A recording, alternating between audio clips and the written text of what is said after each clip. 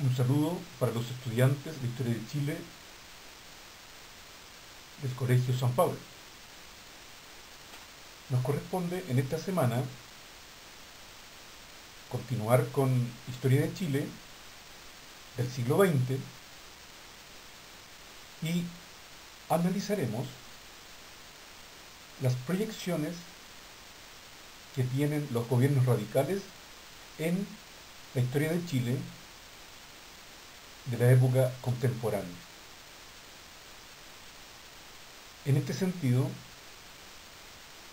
el análisis se hará a través de los gobiernos de Pedro Aguirre Cerda, Juan Antonio Ríos y Gabriel González Videla.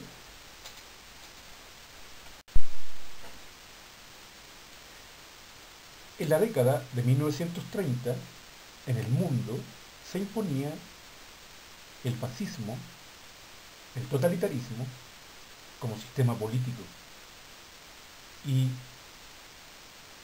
en 1936 el fascismo llegaba a España con Francisco Franco. Y el nazismo también se imponía en Alemania con Adolfo Hitler. Ya era un hecho el fascismo italiano de Benito Mussolini. En 1935, los partidos comunistas del mundo en la Internacional Comunista, dirigida desde la Unión Soviética, proponen a todos los comunistas del mundo organizar alianzas y bloques para luego participar en la política en los respectivos países. Es en este contexto que en 1936 surge un bloque de países en el contexto del mundo que están organizando alianzas fuertes para representar a los sectores de izquierda. Estos hechos del acontecer mundial rápidamente llegan a Chile en 1936 el Partido Comunista de Chile propone la organización de un frente amplio de izquierda. En el contexto del Partido Radical, de un carácter más moderado, que representaba a la clase media, había personas que estaban interesadas en participar en este bloque de izquierda y otros, más conservadores, pensaban que el Partido Radical no estaba sujeto a esas ideas. Finalmente, en 1937, en la decimosegunda convención del Partido Radical, se propone ingresar al Frente Popular y de esta manera entonces surge en Chile el Frente Popular como una alianza poderosísima que agrupaba políticamente a sectores de centro e izquierda. Y es esta alianza la que vence en las elecciones presidenciales de 1938 al candidato opositor Gustavo Ross Santamaría, que representaba a los partidos de derecha, el Partido Liberal y el Partido Conservador, entonces, de esta manera, con el presidente Pedro Aguirre Cerda, se inicia en 1938 el ciclo de presidentes radicales.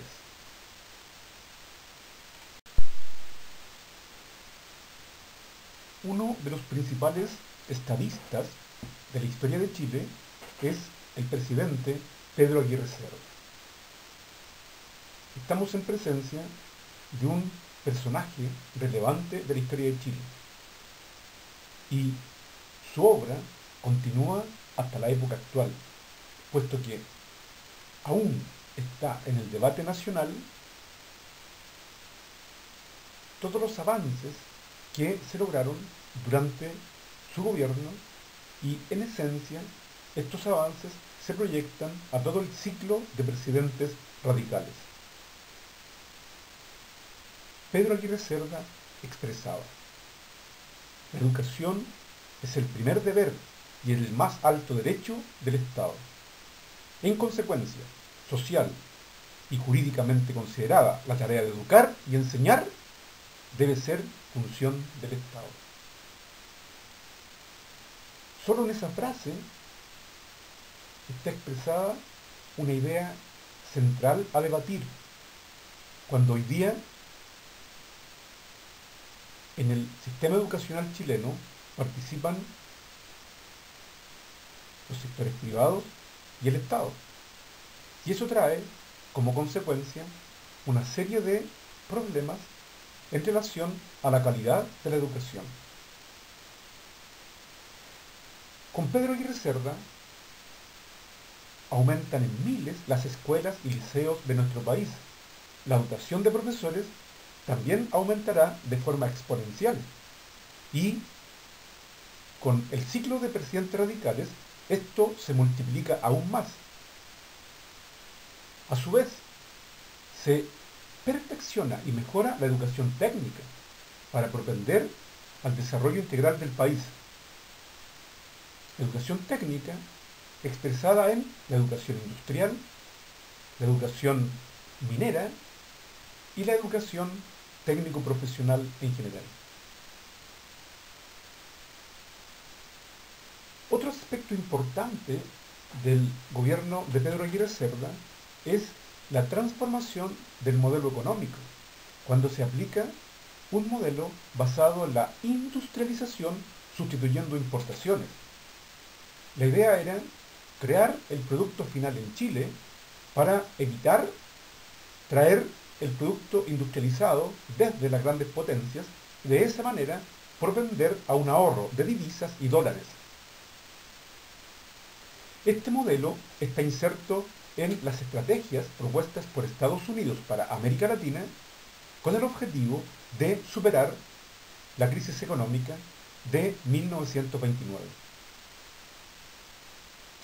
Es en este mismo contexto y como producto del terremoto de 1939 que el presidente Pedro Aguirre Cerda crea la Corporación de Fomento a la Producción. La idea central era superar los efectos del terremoto, pero principalmente crear la industria pesada en Chile.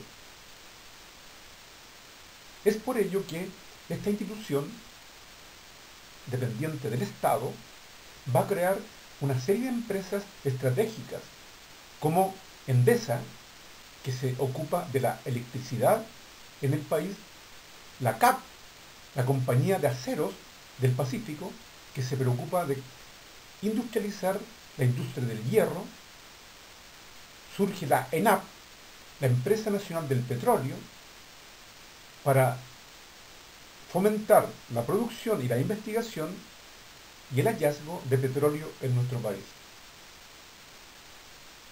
La Corpo continúa su obra durante todo el siglo XX y es un ente que existe hasta la época actual para apoyar la economía de nuestro país.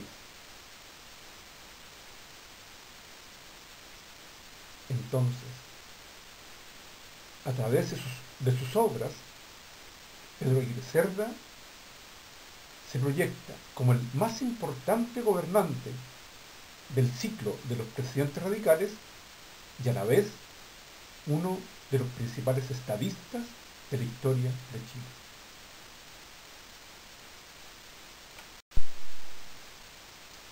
El segundo gobernante radical será Juan Antonio Río, quien gobierna en el contexto del desarrollo y finalización de la Segunda Guerra Mundial. Por lo tanto, una crisis económica a nivel mundial provocada por esta guerra será uno de los principales problemas que enfrenta el gobierno de Juan Antonio Río. Es por lo anterior que su lema fue gobernar es producir, con el objetivo de aumentar los procesos de producción, con ello mejorar y aumentar los puestos de trabajo y el consumo con el objetivo de dinamizar la economía del país. Bajo su gobierno, la Corpo realiza una gran cantidad de obras magnas desde el punto de vista industrial. Es en esta etapa que se crea la CAP y Endesa para fomentar la industria pesada en Chile. Juan Antonio Ríos es considerado también un personaje histórico muy cercano a los sectores medios y bajos, cuando gran parte de su obra como gobernante estará dirigida a la justicia social y apoyar a quienes menos tienen. Es entonces un gobernante que realiza una presidencia continuista de la obra antes comenzada por Pedro Aguirre Cerda.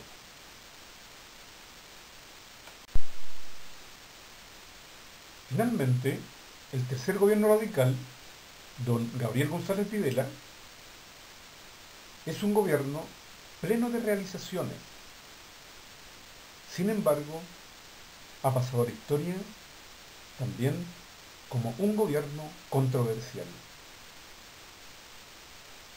Son múltiples los aspectos positivos que se desarrollan en Chile durante esta etapa. Destaca en este sentido la geopolítica, cuando en el cono sur se propone la tesis de las 200 millas marinas, que en la actualidad tiene vigencia a escala mundial y propone que los países ribereños son propietarios de una zona económica exclusiva de 200 millas marinas para el aprovechamiento económico de los respectivos países. Además, consolida la presencia de Chile en la Antártida, cuando se aplica en concreto una ley que antes había sido creada por Pedro Aguirre Cerda sobre los derechos en la Antártida de parte de Chile.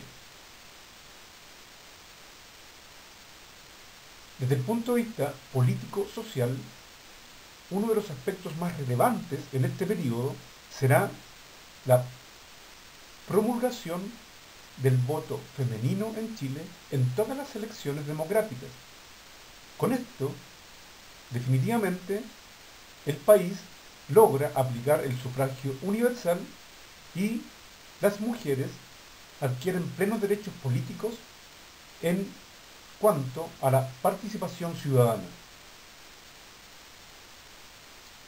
En este periodo continúa la labor de la Corpo para crear una gran cantidad de empresas, ahora no solo en la industria pesada, sino que también en la industria liviana, para apoyar a los pequeños industriales del calzado, de la madera, de los alimentos. No obstante lo anterior, en este periodo se deja sentir con mucha fuerza los efectos de la Guerra Fría en Chile. Cuando esta lucha, esta pugna entre Estados Unidos y la Unión Soviética, el capitalismo y el comunismo, para influir en el mundo entero, llega a Chile exigiéndole al gobierno tomar medidas duras en contra del comunismo chileno. Es en este contexto entonces que, presionado por el acontecer mundial y específicamente por el Departamento de Estado de Estados Unidos, el presidente Gabriel González Videla decreta en 1948 la Ley de Defensa de la Democracia, que deja prohibido al Partido Comunista y sus militantes son perseguidos, encarcelados, muchos deben partir al exilio. Entre otros, el insigne político y poeta Pablo Neruda, que era comunista. Y aquí cabe hacerse la siguiente pregunta. Si un partido político vota por un determinado candidato y luego este candidato le da vuelta a la espalda dejándolos fuera de la ley,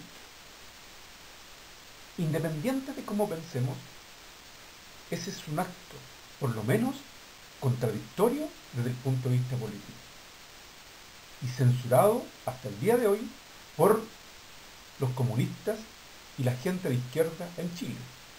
Es por ello que ese sector a esta ley le llama la ley maldita. Con el tiempo, y por lo injusto de esta normativa, esa ley será derogada, es decir, sacada de la estructura jurídica de nuestro país. En definitiva, el ciclo de presidentes radicales nos entrega una gran cantidad de aspectos positivos en lo que respecta a la historia de Chile. Y es dable acotar que en este periodo se aplicó en Chile la justicia social. No obstante, se van a cometer una serie de errores que permiten con el tiempo que los gobiernos radicales finalicen en el año 1952.